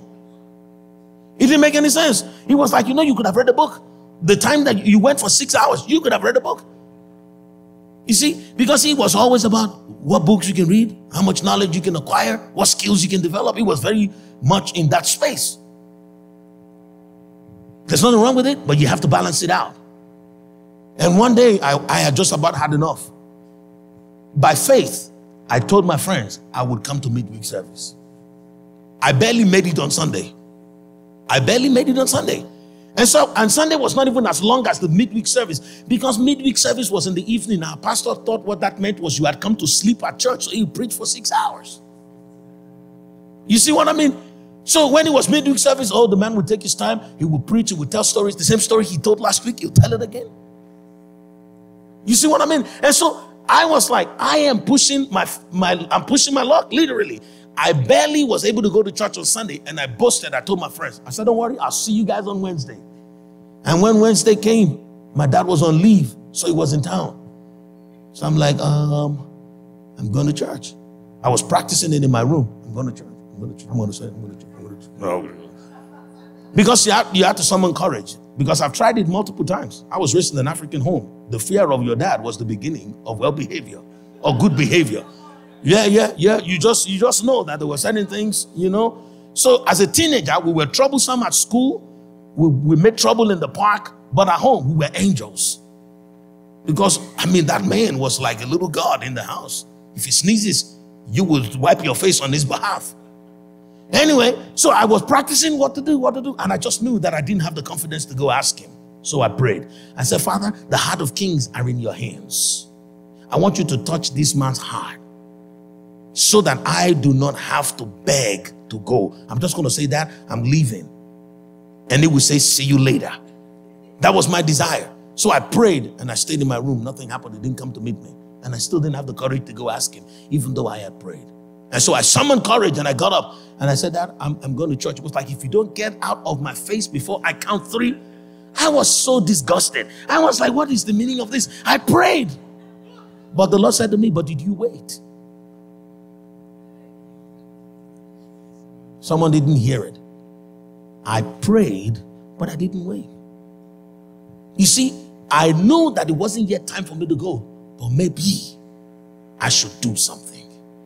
You see, those were my own words and they did not carry any power. So I learned that, you know what, if truly I believe that God can touch his heart, maybe I should believe that God would touch his heart for him to come to my room and say to me, Why are you not going to church? Here is money. Don't walk today. Take a cab. I could have believed for that. And so, you know what? I said the next time, what I'm going to do is I will pray that God touches his heart and wait until he says something. You know, there are certain times when you just have to know that when God says he's doing something, that you would see it when it is done. I learned that lesson. I mean, of course, it's not like I've practiced it all the time since then, but at least I've known it since then. Many times I still say my own, ah, maybe I need to do something. You see what I mean? But the Lord says, I don't want your own words. Once I have said it, let my let me have the final word. I am the beginning and the end the author and the finisher the first and the last. When god says it believe it confess it but do not add your own words to it. So all that may be voice that makes you restless that disallows you from waiting for the salvation of god to be fully fulfilled the lord delivers you of it today. In the mighty name of jesus.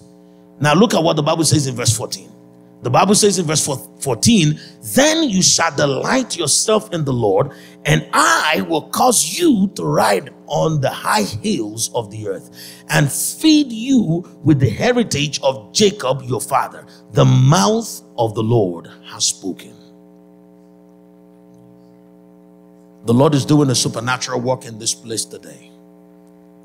From the prayers that we said to this reminder word what the Lord is saying to us in essence is this I want you to pray confidently, declaring my words.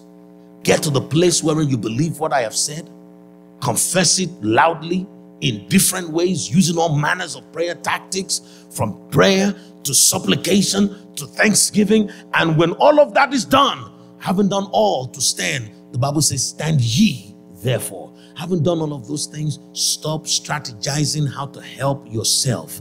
It is the Lord's Sabbath. Go into the Lord's rest and see what the Lord will do. He will turn the hearts of men. Ezekiel 36 26 says, Even those with a heart of stone, God will make it flesh. If I've already prayed, I don't have to write that email to try to manipulate them. If I've already prayed, I don't have to do anything. I don't even have to buy them a present. You see what I mean? Because I have prayed. For once, we need to give God a chance to prove himself as the good shepherd who will come and save us if we will be at rest. As we break bread today, I want you to remember the words of the Apostle Paul in Colossians chapter 2, verse 2. And that will be our breaking bread scripture today. Let's just even go there together. Colossians chapter 2, actually Let's go to uh, verse 7. Colossians chapter 2, verse 7. It says in verse 7 rooted and built up in him and established in the faith as you have been taught, abounding in it with thanksgiving. You are rooted in faith. So why don't you just abound in that which you're already rooted in? You already know that the word of God says that you are above always and not beneath. So if you feel the urge to say something, if you feel the urge to help yourself in any way, this is what the Bible says you should do give thanks. So when you find yourself not being able to wait for God to move, start to give thanks. Occupy yourself with something. Instead of saying, oh, maybe I need to strategize and do this, thank God and say, God, I know that you're going to do it. I know that He will do it begin to sing a song, a hymn, because God does not want you to be uprooted by doubt or uprooted in anxiety or in restlessness. He says, You are rooted in faith. I know you believed me when you saw that promise in my word. Stay rooted.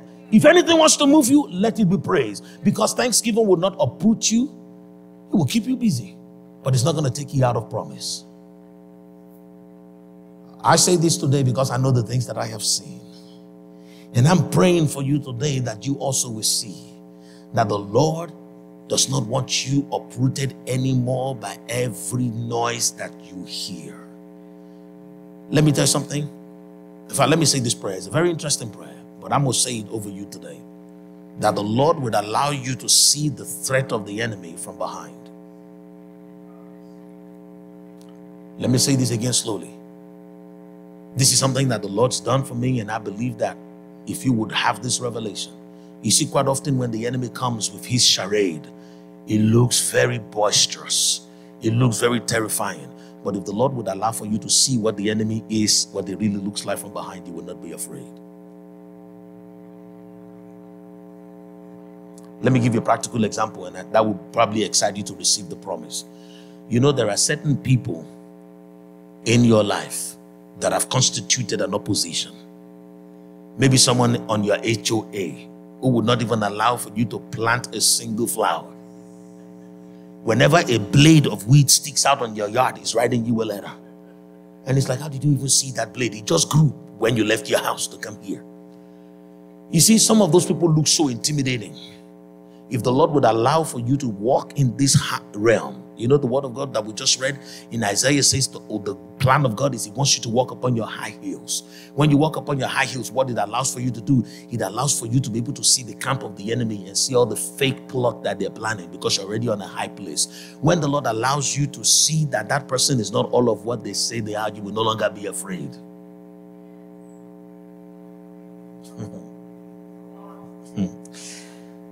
The Lord will help you to tap into this thing so you can neutralize the threat of the enemy that have kept you from possessing your possession. So let us break bread with Colossians chapter 2, verse 7. In fact, I knew that we were supposed to read verse 2. I'm just trying to save time. And I looked and I'm like, it's not even 9 o'clock. So let's read that verse 2. Let's read verse 2 because you see, it helps us to appreciate better what God is saying in verse in um, verse 7. Alrighty. So 2 verse 2. It says that their hearts may be encouraged, being knit together in love, and attaining to all riches of the full assurance of understanding, to the knowledge of the mystery of God, both of the Father and of the Christ.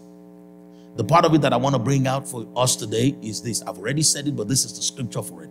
God wants you to have an understanding of how things work between the shepherd and the sheep, between your father and your soul. And this is what the Lord is saying. The Lord is saying that you may attain to all the riches of the full assurance of understanding, to the knowledge of the mystery of God, both the Father and the Son both the Creator and His Word. God wants you to not just know about Him, He wants you to know the full mystery. You see, because it is the understanding of the mysteries of the working of the things of God that allows for you to call out the strategy of the enemy. If I didn't have a full understanding of what it means to not bow before anyone else but my heavenly Father, I could have been tricked to reduce myself into a beast worshiping soul. But guess what? Because I know so much in my heart through the process of meditation, it had gone into my subconscious that they could not even catch me in the sleep. They came in the daytime. I did not fall for their antics. And so they tried to come in the sleep. But because that understanding was full within me of the mystery of the working of the honor of the name of God, they could do me no harm.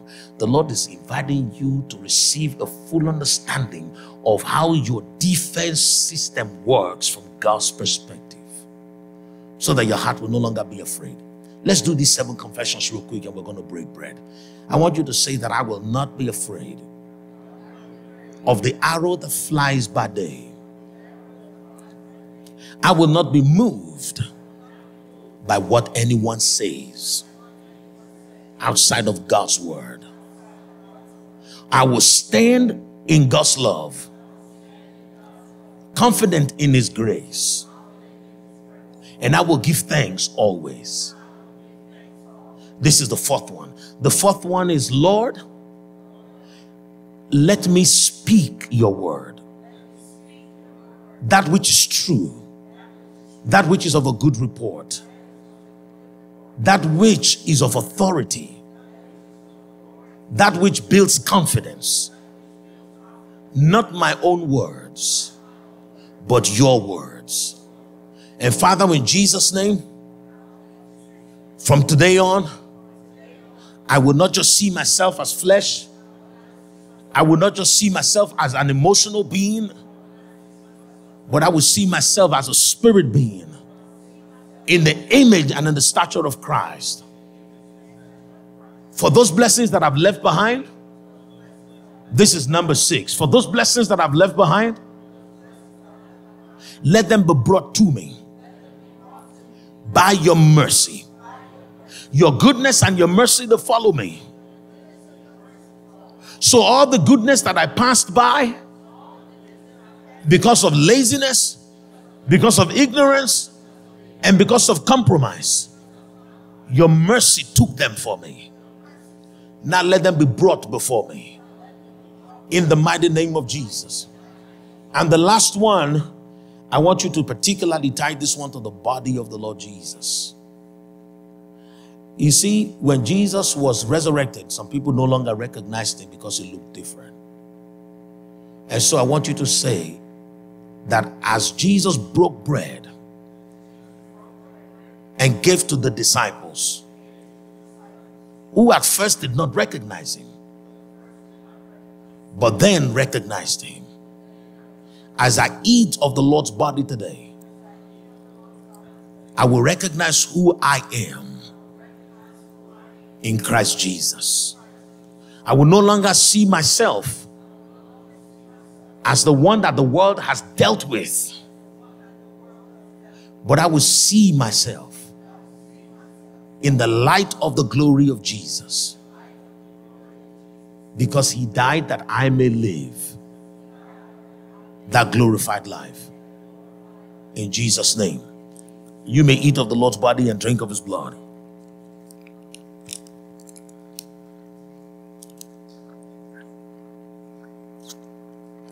Praise the Lord. So, the last thing we're going to do before Alan comes up to close the service and receive the offering is this. As we were breaking bread, the Lord reminded me that many of us are miracles that have been pending are pending because they are associated with the deliverance of another person. So don't let anybody come across as undeserving of your sacrifice. Let me say this very slowly. And I know that I have already seen certain people in the room who have been called by God to go to battle on behalf of another, but you concluded within yourself somehow that it's not worth it. Now, I don't have to do that. That's a waste of my time. They, they don't even deserve that. They didn't even ask me. They know that I'm a prayer warrior, but they didn't come to me. The Lord is saying, Do it for me, for my name's sake. When you do things for God, I mean, for other people, for his name's sake, you will begin to see God do things for you for his name's sake. He will come save you for his name's sake. He will bless you for his name's sake. He will prosper you for his name's sake. But some of us, those blessings are hidden in other people's houses. And if we don't go to war on their behalf and pray for them and intercede for them, beginning first of all with at least forgiving them and singing them worthy of love, we may be missing that miracle. So I want to encourage you today when that Holy when the Holy Spirit brings that person to your heart, brings that burden to you in the place of prayer or while you're watching TV, immediately respond in love to say, you know what, I am my brother's keeper. And I am going to go to battle that this one is not going to be lost on my watch. They don't have to be deserving of it. It was while we were yet sinners that Jesus died for us. So while they were yet hating on you and talking evil about you, you should go to battle on their behalf. God did not make them to be tale bearers. It was Satan who turned them into those loose cannons. So it is your place to partner with God in bringing them back. And the last thing we're going to do, and I want us to pray for this one. I want us to just rise if we don't mind and just pray for this one. We're going to pray for all the young people in our lives. Every young person that you know. You may not be able to call all of them by their names right now, but I just want you to say, like Jesus says, of the ones the Father has given to me, none shall be lost. Jesus prayed to the Father when he was getting ready to go to the cross because he knew that he was going to fight Satan and the hordes of hell. But then at the same time, he did not want to leave his disciples just to chance. So he took them to the Father in John 17. He says, Look at the ones you have given to me. He says, I want you to keep them in the world. He says, Do not let any evil befall them. Let none of them be lost. He said, Except for the son of perdition who left the fold. Because the Father's commitment is to secure the fold. So everyone that God has given to us, male, female, boys, girls, toddler, teenager, infant, none of them shall be lost. Now, I want to say this to you brace up because this is something that I thought of carefully before asking for the Lord to give it to us. Okay, so brace up. Some of y'all, in the next couple of days, the Lord would allow for you to see who those young people truly are. The reason why you've not been praying for them as you should is because some of them have a cloak that they put on when they are around you, but you don't know what they're doing. When the Lord revealed it to me, I said, Lord, what do we do? He said, People will pray right if they can see. So I pray for you today that any child around you that is putting up a pretense, that is putting on a facade, that is making you that is making you feel like everything is okay with them, the Lord will unveil their cloak for you to see so that you can receive a genuine burden to pray for them. The reason why I said be careful with this one is because you might be scared and want to respond emotionally with a dirty slap. But you should not be emotional. Don't be in the flesh, be in the spirit. Recognize that it is a privilege that God is extending to you to be able to see that child for who that child really is so that you can lay the axe to the roots and deal with the problem for them to be genuinely free. We have had too many stories, we have heard too many stories lately of Satan snatching children from parents, snatching nieces from uncles, snatching students from schools for us to assume that it is just what is going around. No. We need to pray now so that they are not preyed upon. The Lord would have me ask you, and I want you to bear with me. I, I know it's some people are tired already, but I want you to bear with me one more time, one more moment. Hear this. The Lord asked me just now as I am standing here to ask you if you're ready to partner with Him to rescue them. You see, God doesn't ask things like that just so that you can fill the form and come in. No, He's asking you because He wants you to bring out His nature that is in you there is a nature of God that is in us that is called faithfulness. You know, God is faithful. And in us, sometimes it looks like doggedness, consistency. God wants to know that you will not chicken out until you see Christ formed in them, the hope of glory. You are not praying to check a box, you are praying to save lives. Let me tell you something. You are not praying to check a box, you are praying to save lives. So you need to put your foot down and say, Lord, I'm with you because you are with me. Let's go and set the captives free. Father, in the mighty name of Jesus, one more time, I just want to ask you the Lord is saying, Are you with me? Father, we are with you to do battle alongside with you as good soldiers of the cross because we know that victory is imminent. We know that this victory is inevitable. We're fighting from a place of authority we're commanding this victory because it's already settled in heaven. So, Lord, in the mighty name of Jesus, of the ones that you have given to us, none shall be lost, except for the son of perdition. But the ones that you have given to us, you have given to us for signs and for wonders. In the mighty name of Jesus. Father, I thank you. In Jesus' name, if you need healing in your body, lay your hands upon your head. This was already settled while the worship was on. The Lord already revealed to me by the ministry of his angels that there is healing in this place for any physical infirmity. We are in our season of bread. and healing is the children's bread. So lay your hands upon yourself wherever you are. If you feel the urge to run here very quickly for a quick word of agreement and a laying on of hands, do that very quickly. But healing is yours and it is yours today in the mighty name of Jesus. It doesn't matter what it is, it doesn't matter how long you have been troubled by it. Do not wait until tomorrow. Seize the word of God today and let it be unto you according to your faith in the mighty name of Jesus. Anybody with infirmity, discomfort in your body, lay your hands right now. Even I am laying on my, my hands on my face. I'm not just saying, I'm not going to just say, oh, it's just an allergy. It's going to go. I want it to go now. I want it to go now. So don't you say, well, it runs in our family. I just need to keep taking the meds. No, it can go now because you are of the family of the Lord Jesus Christ. You are of the family of faith, and victory is yours, and it is yours today in the mighty name of Jesus. All right, I'm just going to touch a couple of people. Brother, Brother Don, I want you to come forward. I see you laying your hands upon your shoulders. I'm going to pray for you. No matter what that is, it's not going to be with you when you wake up in the mighty name of Jesus. Father, in the mighty name of Jesus, I thank you. Is this the shoulder that you were holding on to? Lord, in Jesus' name, I want you to stretch that hand out as much as you can. Lord, in the mighty name of Jesus, Lord, I thank you because you are the glory and the lifter. You are the glory and the lifter of our heads. Lord, in Jesus' name, I ask for there to be a lifting. Lord, let this arm be lifted in the mighty name of Jesus. Whatever needs to be mended in here, be mended this moment, right now. Be mended this moment. Earth, O earth, hear the voice of the Lord. Hear the voice of the Lord and receive the life of God that brings comfort to a man and joy from his belly. Right now, in the mighty name of Jesus, I restore to you in the name of the Father your peace, in the name of the Son, and in the name of the Holy Spirit. You are made whole. It is well with you. I want you to raise that arm again.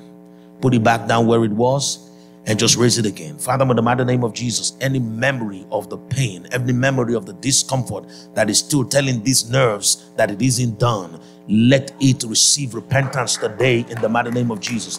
This very moment, let there be a change of heart because what you have done, you have done, and Lord will believe your word. So, Lord, in Jesus' name, let this man's tissues and nerves and bones receive this life because it has been declared in the mighty name of Jesus. Brother Don, it will not arise with you when you wake. You have been set free, and whom the Son sets free is free indeed. I want to pray for you, my sister Nicole, because when I was talking about the burden of others, I could literally see the burden of others around you. You see what I mean? And the burden of others, there are burdens that you have looked at and thought to yourself, um, yeah, maybe this one is a waste of time, maybe this one is a distraction. For a season, you operated like that, and it was wisdom just to preserve your energy, to preserve your strength. But the Lord says now that you have more power because of all those needs. You understand what I mean? So He's empowered you ahead of time. You just need to rise to the occasion. Every single one of their burdens, the Lord has given you the equipping. Some of them you would only say a word, and some of them you would help them to push it over the hill you understand what I mean? And so when they're pushing it and it's pushing back on them, you be their support and you push them and you keep pushing with them until it is completely over the hump and both or all of you can heave a sigh of relief. Don't worry, you will not even know where the strength is coming from because the strength is already come. It's just unfamiliar. That's why you didn't recognize it. But the Lord says that I've empowered you. Let there be a leveling of your shoulders. Those places wherein you have felt more of the burden than the other. There is a leveling that is going on right now. The Lord is imbuing in you with strength. He is filling you with strength. The power is already around you. Now you can draw strength from it in the name of Jesus. Father, I thank you for the oil of the anointing. Very quickly, Alan, if you can bring me the oil of the anointing. You see, there is a special anointing today, and that was what I was alluding to when I was using Chris as an example. You see, that anointing is what will bring you to the place of being able to say, As the Lord is, so I am. You see, as the Lord is the burden bearer, so are you because you are operating in His anointing and by His unction. This is God's way of bringing out messages that you have preached in practical form You see, these are some of the things that you have taught. These are some of the things that you have even considered putting in the book. And the Lord says, I want it to be put out as a fruit. It's going to be out there. People will see it as a living epistle. You see, the recipients of the power of God in your life will go to places that you may not go to. They will carry the word further than you in the in the mighty name of Jesus. Actually, hold on, not this one. I want you to just bend your head a little bit for me. Give me the oil of the anointing. Lord, in the mighty name of Jesus, as you have shown to me in divine obedience, I anoint this woman for testimonies, for miracles, and for deliverance in the mighty name of Jesus. Father, in Jesus' name, I thank you because from here it is unto the delivery room. And you will help them to deliver those miracles because God has raised you a midwife in the life of those that have been weak, in the life of those that have been troubled. The Lord is raising you a midwife. You will help them to deliver in the name of Jesus. Father, in Jesus' name, we'll give you praise. Lord Jesus, Father, we thank you. And I just want us, every one of us, to be seated. We're just going to be seated one more minute. Alrighty. And so here is the deal. I see people in here as I was leaving that place, and your heart was saying before the Lord, I want to have dreams. I want to have dreams. And the Lord showed to me that the dream screen in your life was never turned off, it was just covered with cobwebs. And so, right now, in the mighty name of Jesus, I want you to actually demonstrate to yourself by faith that you're clearing the cobwebs. Pull them away from the screen. The Lord wants to speak to you, wants to reveal things to you in your dream space. It was never turned off because it's a gift of God. And the Bible says that the gift and the callings of God they are without repentance. God does not change his mind. That's what it means about the gifts that he has given to you. But certain things have clogged them. If you would see me after the service, if I'm going to tell you right now, a man clogged your screen. A man clogged your screen. And so you need to stand in the place of prayer and tell the man to sit down because you need to see. Those ones that have been exalted in your heart because you allowed them needs to be put back in their place that you may see. You see, you're not supposed to just see through your pen, you're supposed to see vividly. Okay? The man needs to be out of the way. And the Lord will show you exactly. As I'm speaking to you, this word of God is wisdom that will reveal to you what you must do. It is your time to see. You see, because what is interesting about this woman singing is she has a school that she's not even aware of yet that would teach people how to see. It doesn't have to be a formal school, so you don't have to go register anything, but it is an opportunity, a platform that God has for you to teach others how to see. You see, but you have to see first. And you need to know how to take down that which is obstructing your view so that you can help others. Folks, we have we have moved to a different season at Communion House. Let's keep drinking. Let's keep drinking of the well. God bless you. Alan.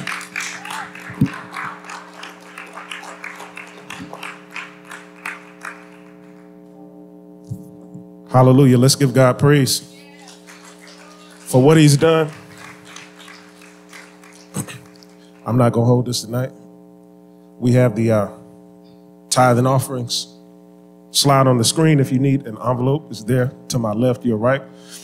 And uh, we're just going to give in praise and thanksgiving, a posture of gratitude for what the Lord has done um, in this house tonight. So much impartation, so much stirring up tonight. And uh, Father, we give you praise for by the leading of your Holy Spirit, you have led us here tonight. You've led us into the water. You've helped us to drink. Oh God, we thank you for this night of activation. So as you're preparing your offerings, let's give in faith. We'll wait just a couple of more seconds and we will bless it. Hallelujah. Father, we give you praise for your word declares that you give seed to the sower. Lord, that you own the cattle on a thousand hills. Everything belongs to you. Father, tonight, let these offerings be pleasing and we give, oh God, in faith. We give in partnership. We give in praise. We give in thanksgiving. We give in adoration unto you tonight. Because you are God. and there was none like you. Father, we thank you, even if you have declared tonight that this is a new day in Communion House, that this is a new season. Oh God, Father, we give you praise because you make us to walk upon our high places. We declare that all glory and honor belong to you. And everyone said, Amen. Hallelujah. Hallelujah. I just uh, want to give one reminder the builder men, the men of this house, we had such a great time of fellowship this morning. If there are some men that you know, uh, even fellas here, that you have not been to a breakfast yet, please come fellowship. Let iron sharpen iron. We've just been having uh, a glory to glory type of fellowship every meeting. So we give God praise for that.